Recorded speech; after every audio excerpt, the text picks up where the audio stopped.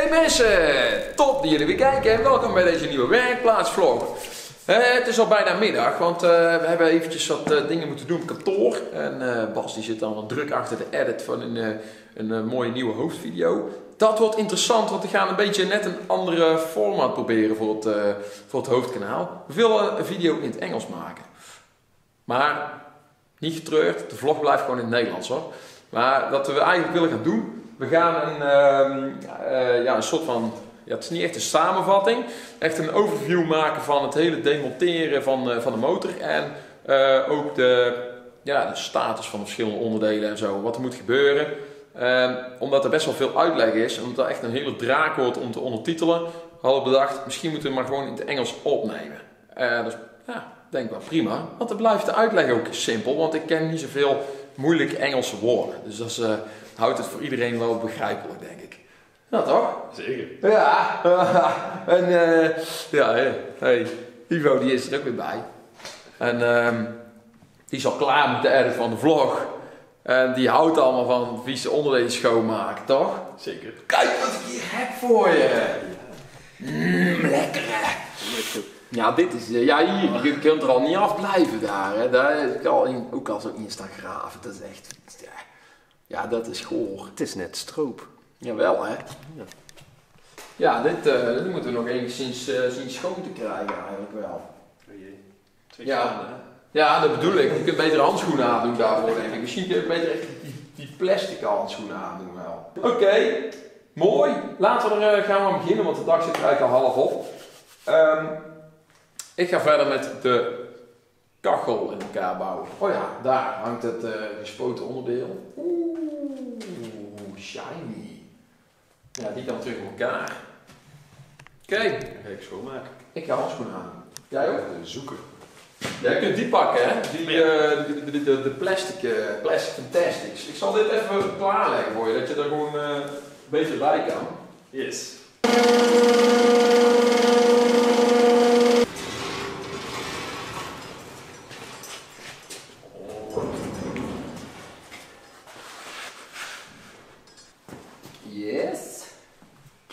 Deze wil ik hebben.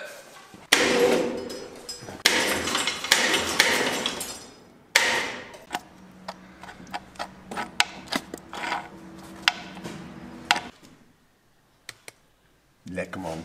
Dat zal nog doorlopen, ja.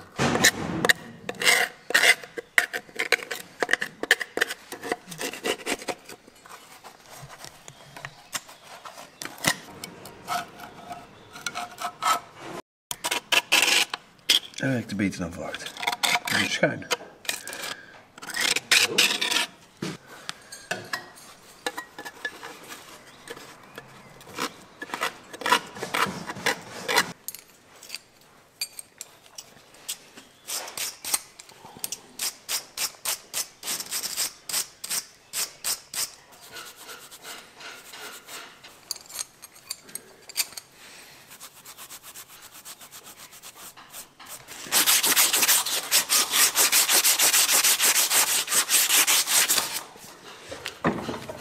Zo.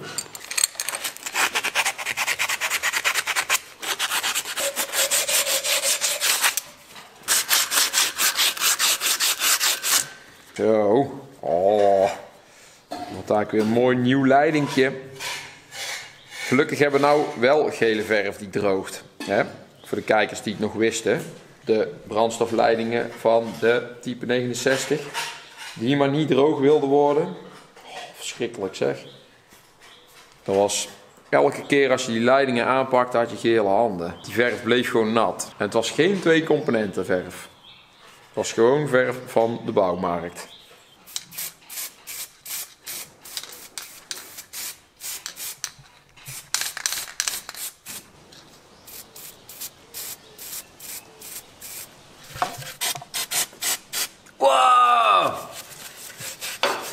dat hij goed veel vettigheid erin in zit.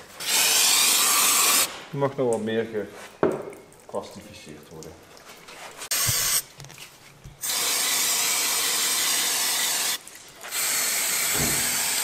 Ja, die wordt wel schoon, ja. Ik denk dat er wel een busje remreiniger doorheen gaat.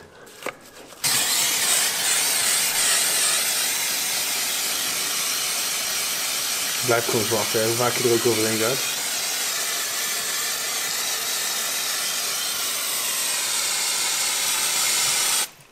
Zie dit. Het gierige bakje. Daar zit hij. Weet je waar het voor is? Dat is zeg maar, elke keer als je je handen wast en je gebruikt die pomp. Dus hij denkt elke keer: oké, één portie voor jou, één voor de koningin. Want dan kom je de volgende keer hier weer en dan ligt er gewoon een kwak van die, van die zeep daar onderin. Dus dan heb ik de bakje daar gezet. Dus dan kan ik de ene keer was ik mijn handen met van de pomp. En de volgende keer was ik mijn handen met hetgeen wat daar zit. Dus ik kan twee keer mijn handen wassen van één keer pompen.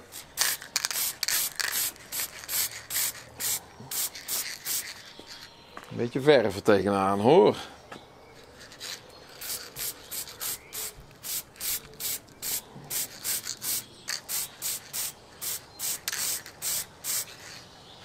Zo. Mag hij mooi wachten tot wij onze boterhammetjes op hebben.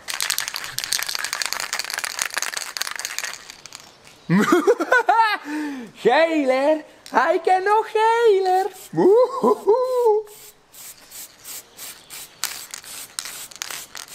Oh yeah! Oh yeah! Oh, dat vindt hij lekker! Mm, ja hoor! Oei, oei, oei! Ja, ja! Oh, oh, oh! Ik sta boven winds!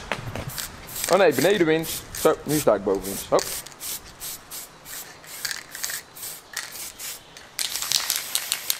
Ja, dat is een goede zaak. Kijk, dit is speciaal eh, voor die lege voertuigen.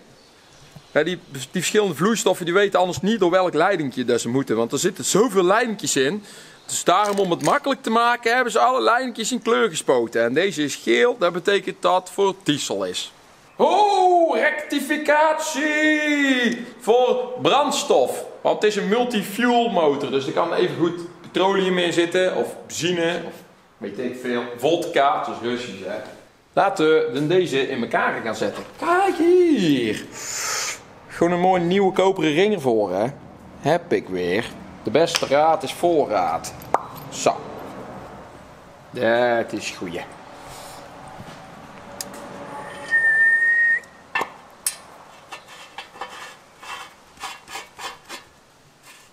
Ziezo.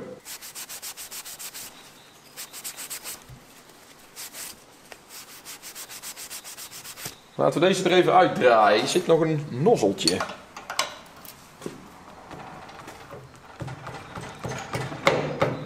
Yep.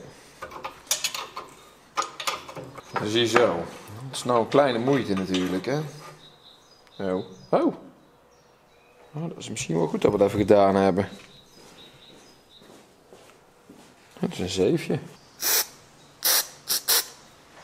Nou, er komt nog niks uit of zo. Dat zou toch eigenlijk wel open moeten zijn. Dus laten we dit even inspecteren dan. Het zeefje is er al af. Het schroefje wil er alleen niet echt uit. Maar dat hoeft misschien ook niet per se. Volgens mij werkt dat wel. Oké. Dus heel dat, oh, wacht, heel dat ding is natuurlijk. Nee, nee, toch niet. Het is echt een ring. Ziet er goed uit. Die is gewoon open.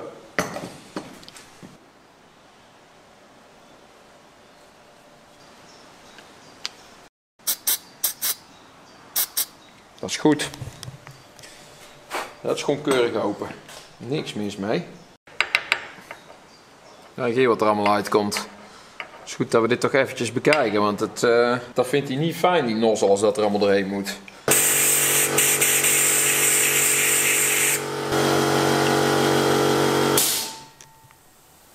Hey. Ja, blijf er gewoon uit.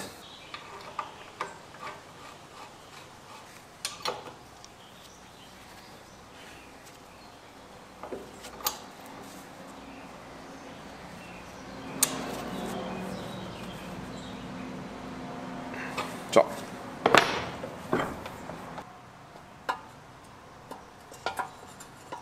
Zo.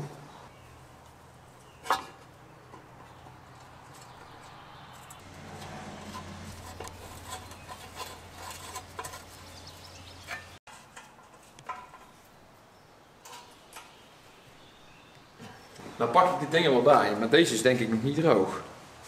Was nu eigenlijk net een beetje te kort geleden. Ja, ik weet niet. Laten we die gewoon nog even wachten. Die kunnen we er dadelijk ook nog opzetten.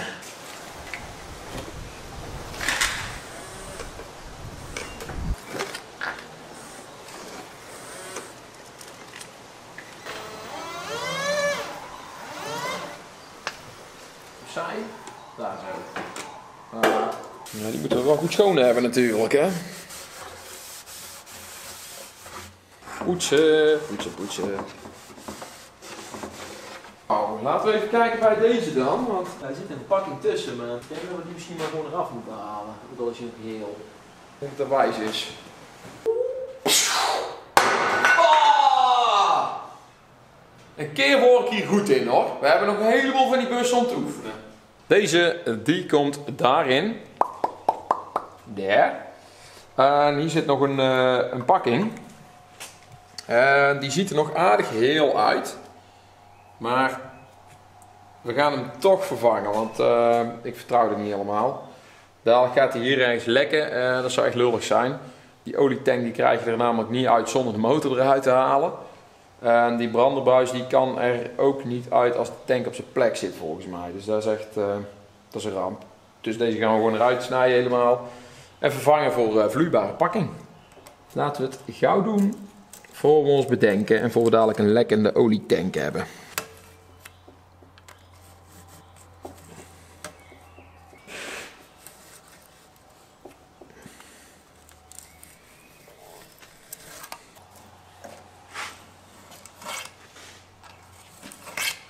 Bijna. Hebben ze.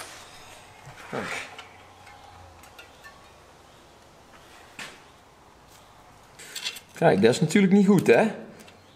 Kijk, met die dikke pakking die ertussen zat, kan dat wel, maar hier zit een, een soort van lastspettertje. Dan moet wel. De pakkingvlak moet echt goed glad zijn, natuurlijk.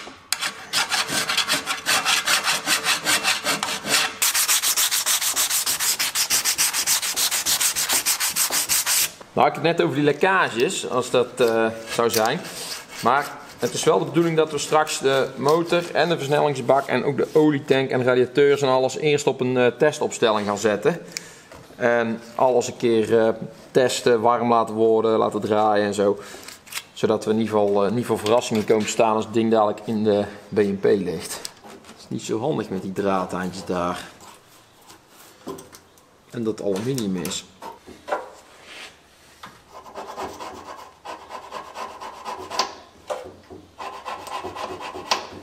Ik ben benieuwd of dit- Oh, hier.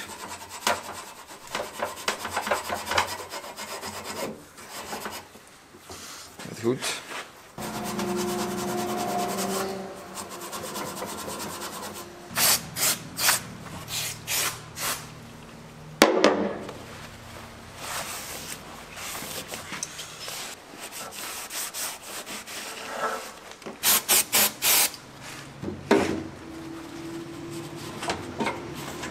Oké, we gaan hem terug in elkaar eh, plakken.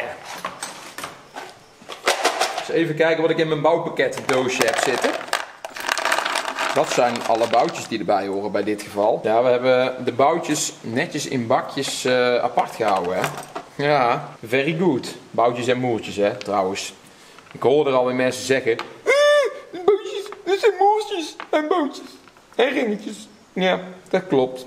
Borgringetjes. Hij is nog helemaal niet uitgehard. Is dat waar? Ja joh. Nou, dan terug erop.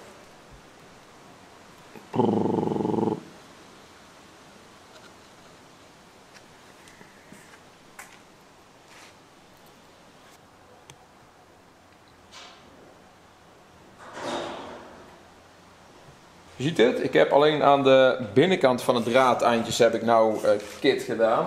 Vloeibare pakking, want het is niet echt kit. Maar ehm, normaal gesproken als je boutjes hebt die aan de andere kant open zijn, dan wil je wel om je boutjes heen kit eigenlijk nog een keer zo. Want er kan langs die draadeindjes kan natuurlijk ook vloeistof lekken. Dat is in dit eh, geval niet van toepassing, want eh, ik heb net even gevoeld. Je ziet hier die draadeindes, hier zo. En dat zijn, eh, ja, die is- die zitten in blinde gaten. Ik heb hier even achteraan die flens gevoeld. En die gaten die zijn niet doorlopend. Dus er kan geen vloeistof langs de draadeindes lekken. Dat is mooi, anders hadden we dit ook nog af moeten kitten. Zo. Oké.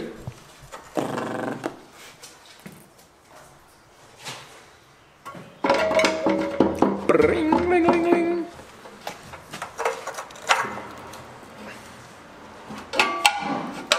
Oké.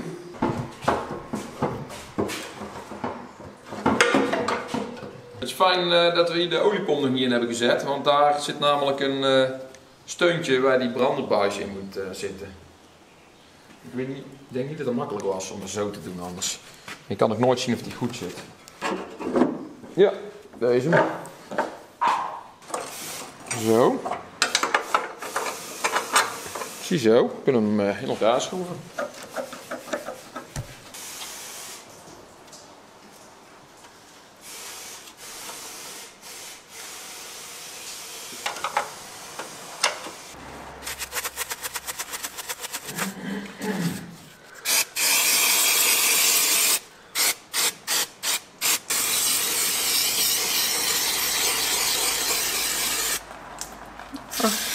Dat lukt wel.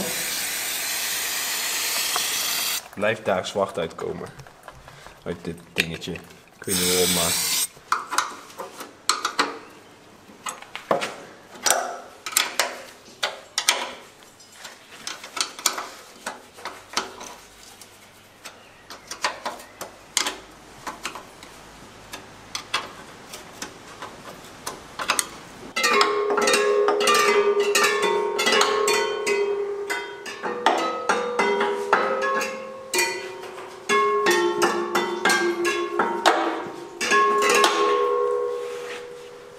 Het is een heel muziekinstrument.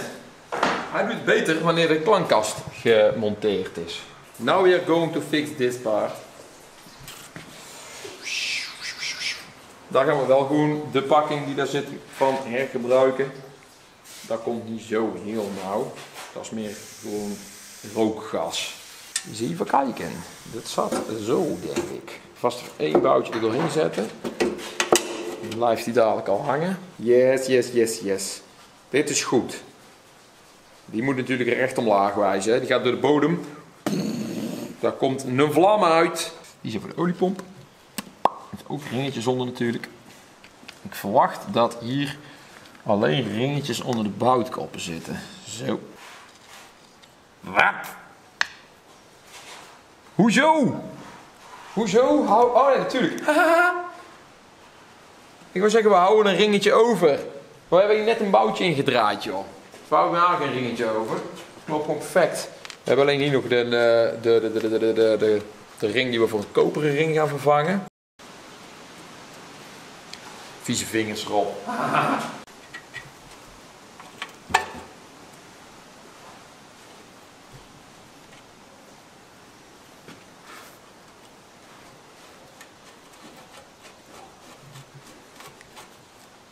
Dit was ooit een lichtblauw doekje.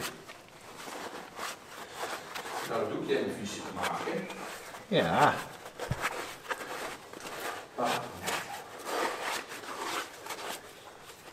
Beetje remreiniger en hij is schoon, denk ik. Poging nummer 2.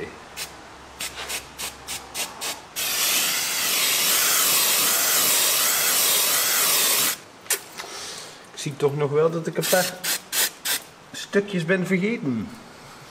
Daar. Daar.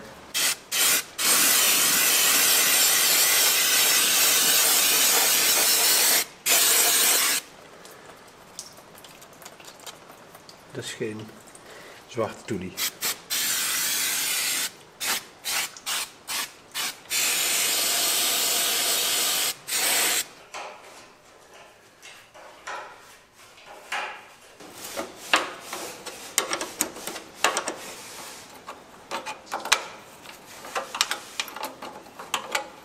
Die kachel nou niet in die olietank zat, we hem makkelijk kunnen testen. Want we kunnen hem nou niet droog opstarten, want dan, ja, dan brandt die buis natuurlijk.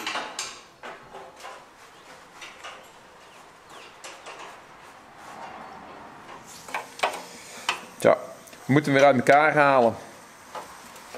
Dan kunnen we dit stuk mooi groen spuiten. Want daar loopt uh, koelvloeistof doorheen. Dit is bruin, dus motorolie, dat is goed. Maar, maar dit klopt niet. Vind ik niet fijn.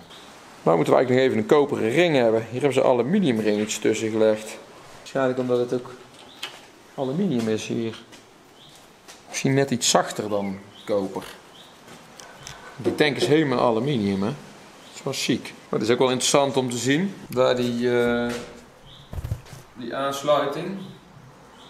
Die hebben ze echt met zo'n zo'n ja, een soort van ja, slankpilaar zou ik wel zeggen. Maar een soort van glijden ding gemaakt dat hij echt zijn olie wegzuigt bij die, bij die kop van, de, van die volverwarmer. Oh, hier dan? Ik heb alleen hier nog even gedaan. Dit moet nog even afgedaan, maar dit is een goed helemaal.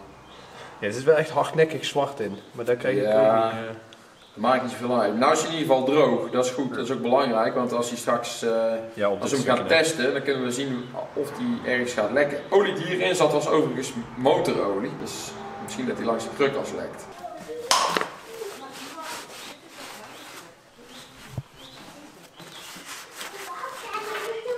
hebben we er weer een, een oude pakking.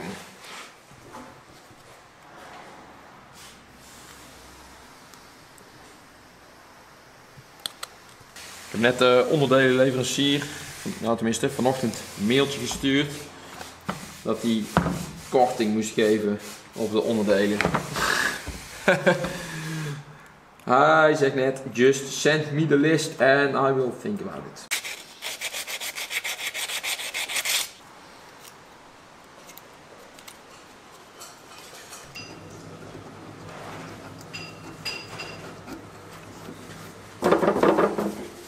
goed genoeg. Dat is wel dicht dadelijk.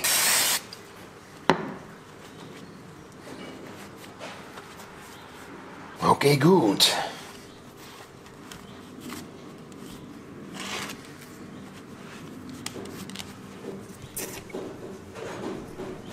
Dus even kijken in mijn ringetjes assortiment of ik daar nog iets voor heb liggen.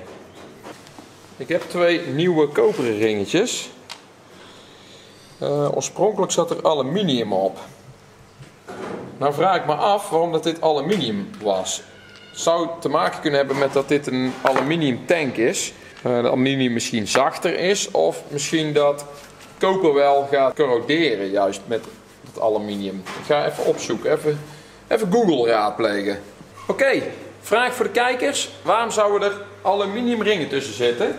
Maar we gaan er nu gewoon koperen tussen zetten. Want ik heb namelijk een interessante vaststelling gedaan. En dat is dat dit ding waar dat die ring op komt, dat is gewoon staal. Nou, de leiding is ook staal. De boutje is ook staal. Dus uh, daar kunnen gewoon prima koperen ringen tussen. Dus geen reden om aluminium te gebruiken. Maar ik vroeg me wel af, waarom zouden hier nou aluminium ringen tussen gezeten hebben oorspronkelijk? Hier, dit is dan wel interessant. Dit is aluminium en daar zit er gewoon een koperen ring tussen ook. En dat is origineel zo. Maar aan deze kant, bij die banjo, daar hebben ze weer aluminium ringen tussen gedaan. Zoals nou het verschil tussen een aluminium en een koperen ring?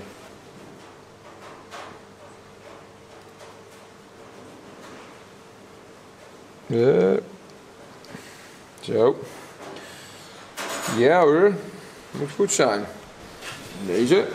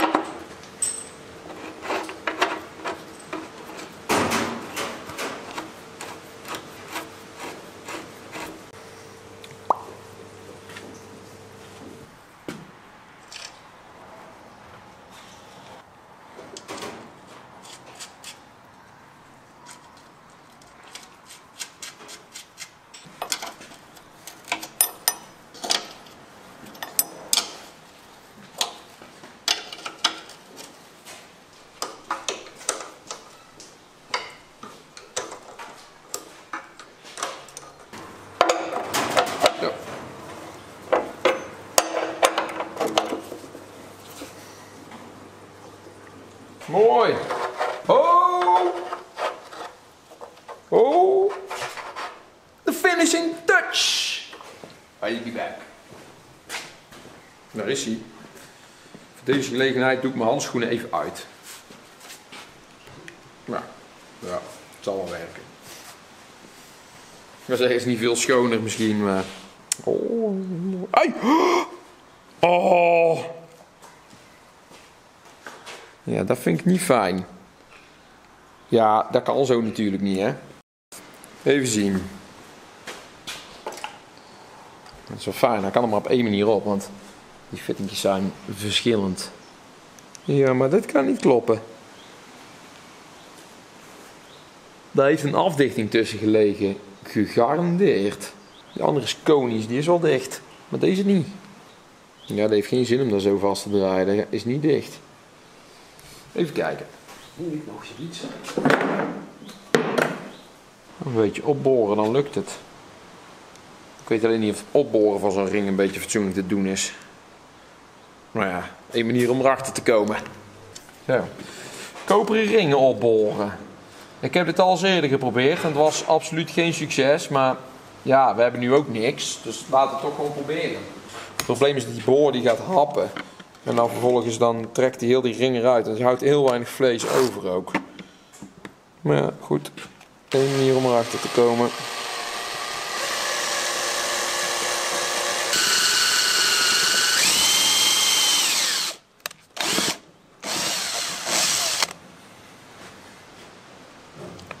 Oh.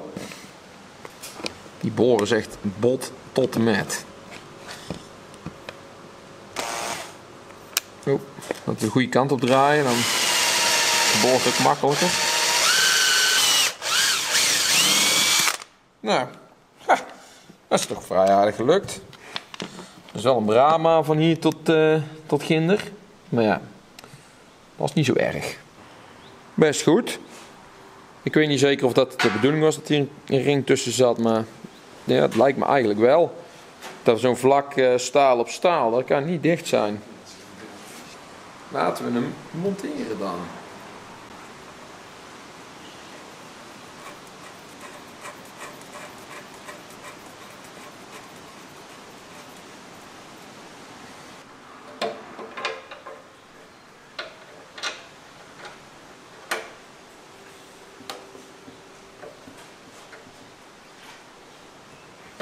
Ja.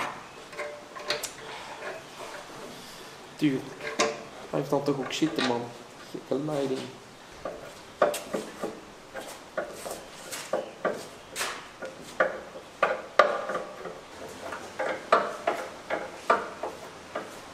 Uitlaatpakking hebben we ook gewoon nog.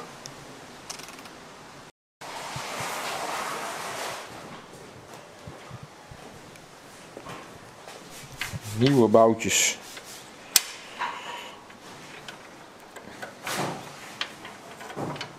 Wel een beetje kapot die pakking daar, maar ja, dat is voor de uitlaat.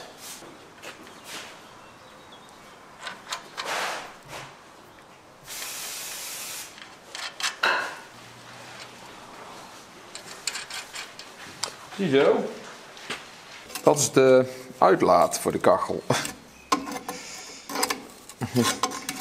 Die hebben de beste heren die daarmee gereden hebben niet meer dichtgezet. Uh, en toen zijn ze volgens mij heel rauw mee gaan crossen met ding. En uh, heel het, uh, die roosters dichtgeplooid. Dat gaat een stuk beter.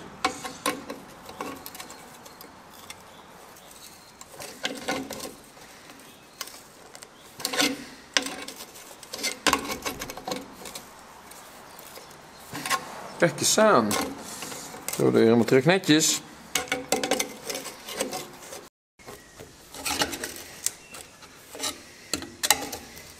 Ik vind het netjes genoeg.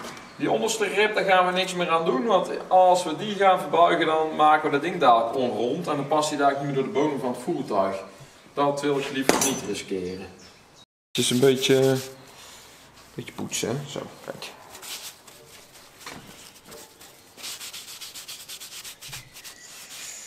Ja, dit moet gewoon schoon branden, dit, uh, dit zilveren stuk. Als het ding aan is, dan uh, wordt dat weer terug uh, roestig. Op verloop van tijd, denk ik. Mooi man. toch weer een paar dingetjes eh, bijna afgerond. Ja. Snelheidsbak eh, netjes schoon, vliegwielhuis. Lekker gewerkt. Ja, mijn gezicht zit nog vol. Man, zijn er schoon? Een doekje voor je gezicht. Ik zo wel. dus, ja, en eh, de kachel staat weer eh, zo goed als in elkaar. Ik moet eigenlijk alleen even het uitlaatkanaal er nog op zetten. Nou, dat is alweer een onderdeel wat eh, in de bak kan met onderdelen die klaar zijn. Dus dat is weer iets wat eh, van de lijst kan worden afgestreept. hey, maar het is ondertussen tijd. We moeten het alweer gaan afsluiten helaas, want het is alweer 5 uur. Dus, ik zou zeggen, de English summary in de description, de comments ook. Allemaal een prettig weekend en eh, tot de volgende!